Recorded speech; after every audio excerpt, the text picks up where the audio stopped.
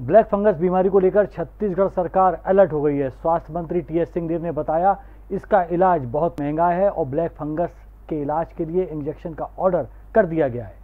स्वास्थ्य मंत्री T S Singhdeo ने कहा, ब्लैक फंगस के इलाज को डॉक्टर खूबचंद बघेल योजना के दायरे में लाने की चर्चा हुई है।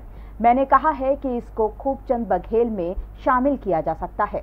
प्रक्रिया पूरी करना बाकी है। ये आयुष्मान योजना का ही हिस्सा है, इसीलिए भारत सरकार से भी अनुमति लगती है, क्योंकि इलाज महँगा है। विशेषज्ञों ने बताया कि पाँच से सात हज़ार का एक इंजेक्शन है। व्यक्ति को 21 दिन में 50 से 100 इंजेक्शन लगते हैं। बहुत महँगी इलाज की प्रक्रिया है। दवाई बाज़ार में मिल नहीं रही है। 5000 इंजेक्शन के लिए आपात स्थिति, बस सीधे ऑर्डर कर दिया गया है। दवा की उपलब्धता के लिए टेंडर भी जारी करने के निर्देश दिए गए हैं।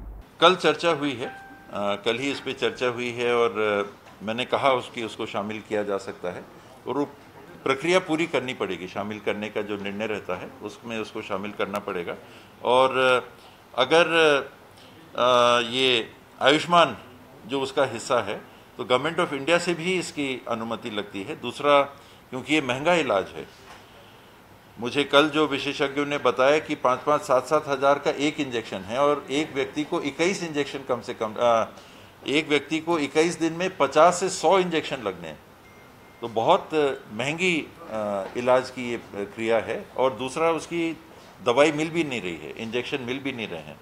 तो पाँच हज़ार इंजेक्शन के लिए कल ही फ़ाइल मैंने साइन की थी उसके ऑर्डर के लिए। तो पाँच हज़ार तो बिना टेंडर के ही आपातकाल में उसको उठा रहे हैं हालाँकि ये पहला परचेस है।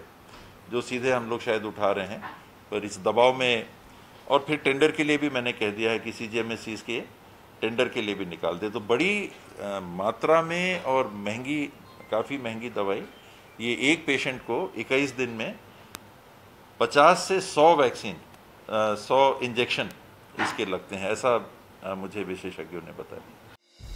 संगीत की स्वर लहरियों से। सांस्कृतिक ताने बाने तक।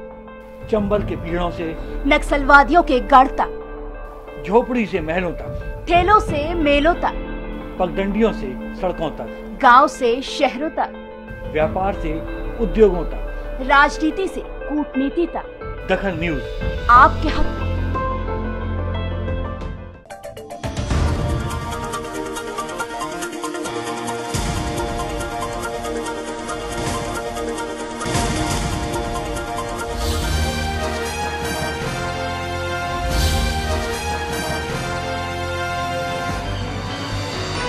आप देख रहे हैं दखल न्यूज़।